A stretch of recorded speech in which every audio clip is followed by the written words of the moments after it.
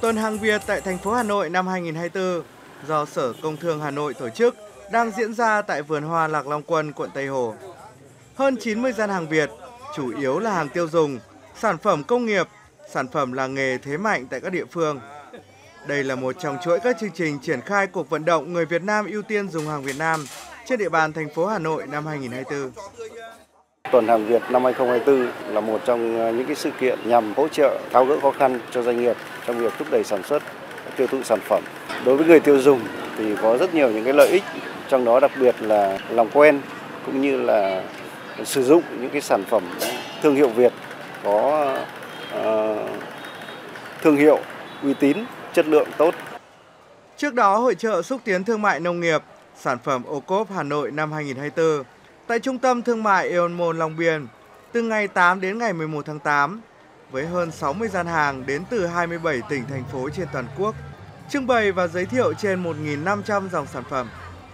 Chương trình do Trung tâm Xúc tiến Đầu tư Thương mại Du lịch thành phố Hà Nội phối hợp với Airmon Việt Nam tổ chức nhằm tiếp tục triển khai biên bản hợp tác về ký kết giữa Ủy ban nhân dân thành phố Hà Nội, Bộ Công Thương và tập đoàn Airmon Nhật Bản hướng đến mục tiêu đạt kim ngạch xuất khẩu hàng Việt Nam thông qua hệ thống của Aeon đạt 1 tỷ đô la Mỹ vào năm 2025.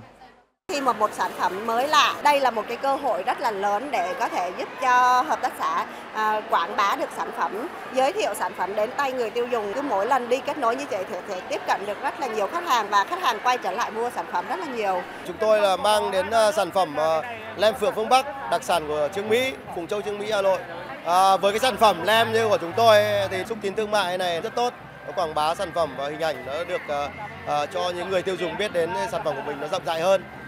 Nhiều tỉnh thành cũng tham gia các chương trình xúc tiến thương mại để quảng bá các sản phẩm đặc sản của địa phương mình.